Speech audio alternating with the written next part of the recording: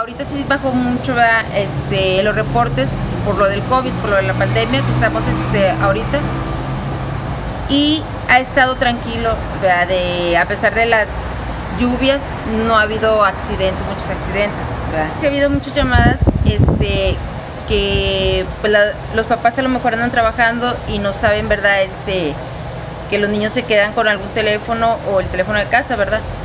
Y hacen llamadas, entonces acude la ambulancia y pues no, son puras llamadas falsas, ¿verdad? Muchas veces también son mayores de edad los que hablan y al momento de que anda la ambulancia cerca, este, nos vuelven a marcar y nos dicen, "Va, es otra calle, nos mencionan otro domicilio, un 50% son de llamadas falsas o llamados que nos hacen y al llegar al domicilio ya los trasladaron por sus medios, este, pero no, no, dan, no dan aviso aquí a la, a la base. ¿Cuáles son las recomendaciones que se hacen a los padres con los- para hacia los menores?